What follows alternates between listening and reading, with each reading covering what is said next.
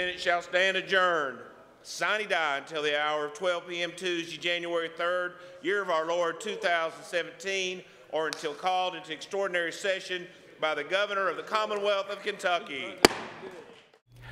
Another legislative session has come and gone. So what happens now that the final gavel has fallen? The Kentucky Constitution calls for the General Assembly to meet only 60 business or legislative days during even-numbered years like 2016 or 2018, and 30 legislative days during odd-numbered years like 2017 or 2019. The Legislative Research Commission was created in 1948, allowing legislators and their staff to handle the people's business year-round. So now lawmakers can meet during that interim period between sessions to focus on three areas the past, the present, and the future. They look back at laws that were passed in previous years to make sure they're working as expected and are meeting the needs of Kentuckians. They review programs, contracts, and administrative regulations that are currently in effect to make sure they're efficient and above board.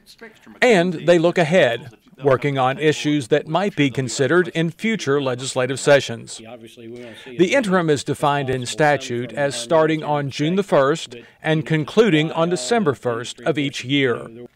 During the interim, standing committees from the House and Senate join forces as interim joint committees to look at issues under their jurisdiction. For committees like Education and Judiciary, that's pretty straightforward. But for other committees, several topics may get lumped together, like the Interim Joint Committee on Veterans, Military Affairs, and Public Protection. Now, in addition to meetings, uh, the staff will be conducting research along with legislators. Legislators will direct the research, and then staff will carry out the research as directed so that if a legislator comes to ask, ask us about a, uh, a new program that they've heard about in Oregon, we may already know about that program or we'll at least know where we can go to get that information uh, in pretty short order for the legislator. Other committees and task forces, set up by a statute or resolution, meet for a specific purpose and sometimes for a specific period of time, like the Government Contract Review Committee or the Tobacco Task Force. Uh, Those committees are not allowed to essentially veto those contracts, but they can voice an opinion on them and perhaps put in play a process that might put a stop to them. Uh, but those duties are spelled out in statute. Bills can be drafted during the interim, and they're called bill requests and are considered to be pre-filed. While they can be discussed, no action can be taken. On the first day of the next session, all pre-filed bills are officially introduced and given their appropriate House or Senate bill number. Now the bill can be acted on.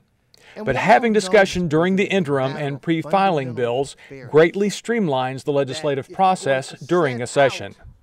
So there are all different kinds of committees and meetings that will continue to take place during an interim. And this serves as a bridge from one session to another, allows for the development of ideas, research, for the General Assembly to see, did we do something right in the last session? Or was there something that we need to make some minor changes to in the next session to improve upon what we did in the last session? Or are there other issues that we need to prepare for so that we can be better educated when the next legislative session starts? And it's important to remember that Kentucky's lawmakers work part-time, so the interim also gives them a chance to earn a living at their full-time jobs and to spend some quality time with their families. We invite you to subscribe to our channel. You can do so by clicking on the Capitol Dome icon below. And if you'd like to leave a message for your legislators, you can call the toll-free legislative message line at 800-372-7181. And to find out more information about the Kentucky General Assembly, visit the LRC's website at www.lrc.ky.gov.